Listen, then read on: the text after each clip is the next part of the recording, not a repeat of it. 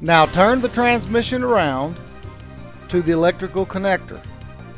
First, you'll need to break the connector away from the transmission case.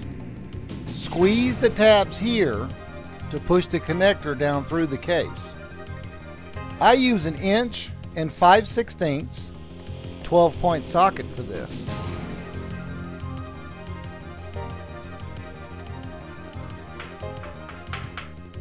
Now push the connector down. It will drop about a quarter of an inch. Next, remove the transmission bottom pan by removing these 16 bolts located here. Go ahead and remove the filter.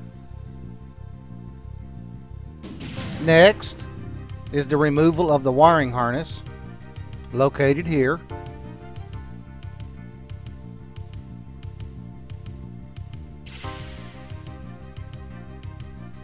Notice the color of the wires on shift solenoid A and B. This is where a good camera will come in handy.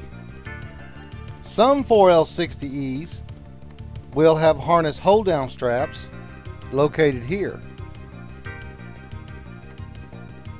Next, you'll need to remove the lockup solenoid by removing these two bolts located here and here. Be careful here when removing the lockup solenoid. It is a part of the wiring harness and can be damaged very easily. On late model 4L60Es, you will need to remove the PWM TCC solenoid first before you can safely remove the lockup solenoid. The PWM TCC solenoid is short for pulse width module and TCC is short for torque converter clutch. To remove the solenoid, unclip it from the harness and remove the retaining clip. Then the solenoid just simply pulls from the bore. Now you can remove that lockup solenoid. Once the solenoid bolts are removed, this solenoid will also pull from its bore. To completely remove the harness from the case, you will first need to remove the valve body.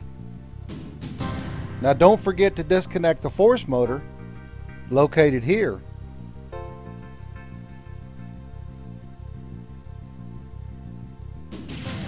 Next, remove the pressure manifold switch. To remove the pressure manifold switch, you'll need to remove these five bolts. Next, remove the detent lever by removing this bolt. Now it's time to remove the valve body.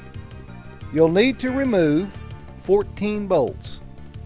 But before we remove the valve body, there are several steps you'll need to know.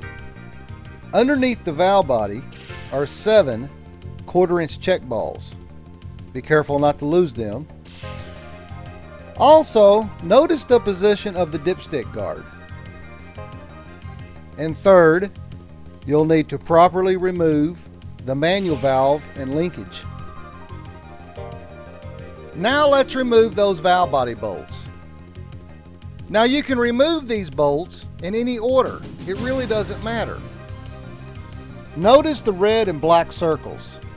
The red are 10 millimeter headed bolts and the black are 8 millimeter. Be careful here not to damage or drop the valve body. It houses many springs and valves as well as electrical solenoids. It is a very sensitive unit and can damage very easily.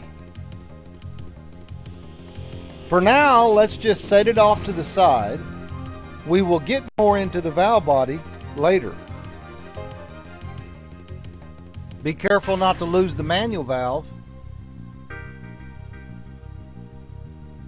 And don't forget the manual valve link.